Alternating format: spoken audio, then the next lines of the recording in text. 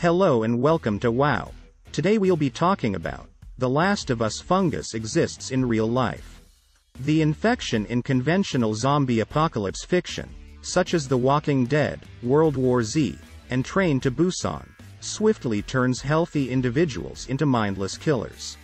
There are a few ways in which the new HBO drama The Last of Us, based on the video game of the same name, defies expectations. To begin with, the human hosts who spread the infection are not the undead, they are still living. Furthermore, the causal agent is not a virus but a fungus. The fungus is also a genuine thing, unlike some fictional ones. The developers have stated that a section from the BBC's Planet Earth documentary series, in which a fungus takes over the consciousness of an ant, served as inspiration for the game. There are implausible elements to the show. David Hughes, an entomologist at Penn State University who consulted on the game and was quoted in the Washington Post by Kasha Patel, says it's unlikely that a fungal virus capable of manipulating people's thoughts would cause a global apocalypse. Some of it is based on speculation, but other sections are based on true research, including notions about climate change and illness that scientists are wrestling with right now. West Virginia University mycologist Matthew Kasson tells Ringer reporter Claire McNear, it's not far-fetched for me. Stranger than any work of fiction, indeed. Benji Jones of Vox describes how an Ophiocordyceps fungus infects a bullet ant in the Planet Earth footage that served as inspiration for the game. Half of the insect's body eventually becomes fungus as the fungus develops inside it. However, the ant's brain remains unharmed, allowing the insect to be controlled. The ant follows Ophiocordyceps instructions and climbs a tree, where it is killed. This gives the fungus a perfect location from which to release its spores and infect more ants.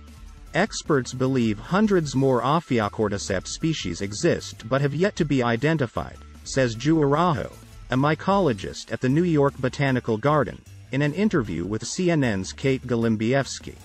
Researchers, however, aren't worried that people will become infected with these fungus.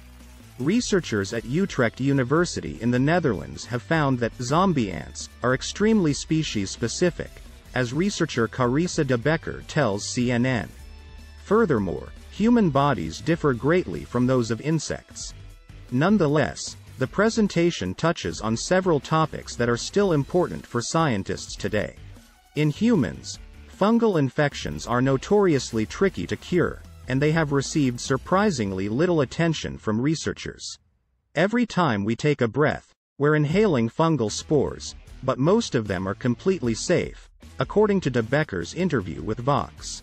Only a handful of the 1.5 to 5 million known fungal species cause human illness, and they mostly target persons with impaired immune systems, according to the Post. According to Wired's Rose Eveleth in 2021, more than 300 million individuals per year suffer from a major fungal illness, and approximately 1.5 million of them perish as a result. Among the many reasons why these infections are so lethal is that they are sometimes difficult to cure. Fungi are more closely connected to mammals than they are to plants, Kasson tells The Ringer. It's difficult to fight them without also fighting within ourselves. They need to develop chemicals that specifically target the fungus without negatively impacting the host. Scientists like Johns Hopkins' Arturo Casadevall, who studies microbes, told Wired that greater effort should be put into understanding the biggest kingdom on Earth. Warming temperatures are implicated in The Last of Us as a factor that helped set the stage for the fungal invasion of the world. According to De Bekker's interview with Vox, most fungus have a lower temperature preference than the human body. According to the show's premises, fungal infections on people may become more common as the globe warms and fungus adapt to it. This notion is now being discussed in the scientific community. Ilan Schwartz, who investigates invasive fungal diseases at Duke University, tells Vulture's Roxana Hadadi, it's not fanciful, the concept that global warming has enhanced the heat tolerance of a fungi. That hasn't been demonstrated. This is a theory that is being tested at a sluggish pace. It's not impossible, though. One example is the publication's speculation that the fungus Candida auris, which is resistant to several antifungal medicines and concerns those with compromised immune systems, has adapted to human body temperature. Mycologist Dimitrios Kontoyiannis of the University of Texas tells CNN that a broad fungus pandemic is improbable due to the way in which the diseases propagate in people. According to Schwartz, who spoke with Vulture about the show's concept, there's tons of important challenges in the world, but this isn't one of them. However, the risk that humans face from their fungal enemies may rise as a result of the present worldwide epidemic. Thanks for watching.